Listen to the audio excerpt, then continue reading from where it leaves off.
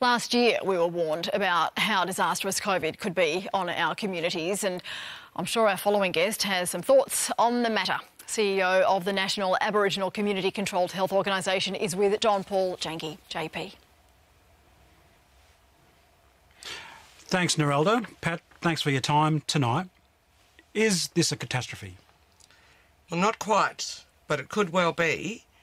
And one of the factors that compounds things like a pandemic is the overcrowded housing, which we have repeatedly asked governments throughout Australia to address and to ensure that our people have safe and the right size housing so we won't have these problems. There will be future pandemics and we must get this housing issue addressed. Well, let's talk about the Delta variant in a minute, but talk about talking about the vaccine rates.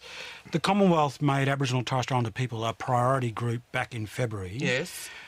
Why has it taken this long, really, to ramp up the vaccination?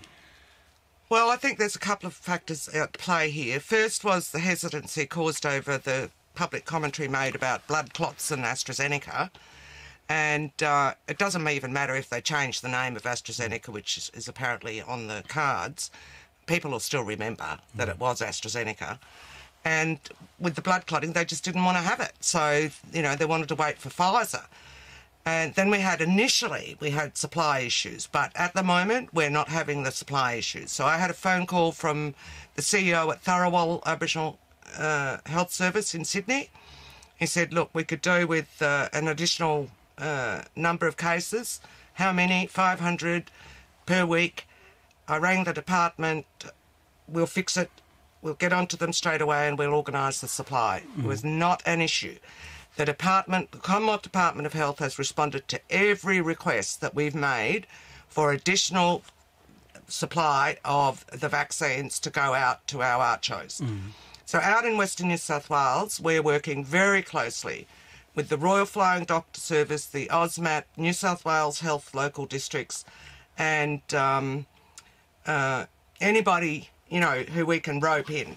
Now we're aware of workforce strains, and we're trying to do our best to supplement them. Oh, the nurses. Yeah. Uh, the Royal College of Australian Nurses is the other one that we're working with for workforce, and getting that uh, supplementation in uh, to Western New South Wales in particular. Mm. And the, the sort of the increase in the, the amount of Pfizer that's being delivered to medical services is a good example of the pressure that you're putting on the Commonwealth in the vaccine rollout.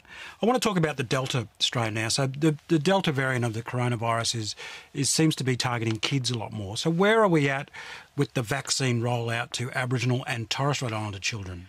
Okay. So we have um, over 194,000 Aboriginal and Torres Strait Islander people have received at least one dose.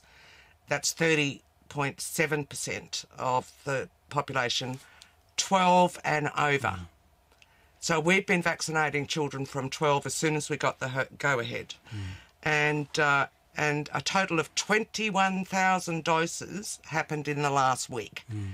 So uh, over 103,000 of our people are now fully vaccinated. That's 16.3% of the population over the age of 12. Mm.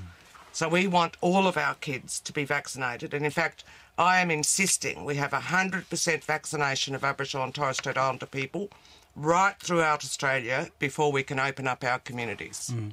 All right, last question, Pat, is we, we hear a lot of good work that the AMSs are doing around the country. They're doing the vaccine rollout, they're doing COVID testing, they're also managing the normal primary healthcare needs of our community. Are they asking for more resources? Are you lobbying yes. for more resources for them? Well, the Commonwealth has given us a subst- had given us a substantial amount of money to provide to ACCHOs on a needs basis, and we have responded uh, with that distribution to all the ACCHOs to help with the communications, to get the messaging right in their areas, mm. uh, to help supplement staff or whatever other resources they need to enable them to continue to provide comprehensive primary health care plus handle everything to do with COVID. So, you know, and if we need more, we will mm. simply ask the department, and I am sure that they will respond positively. Yeah. Thanks for joining us on the point tonight, Pat. Back to you, Narelda. Thanks, JP, and see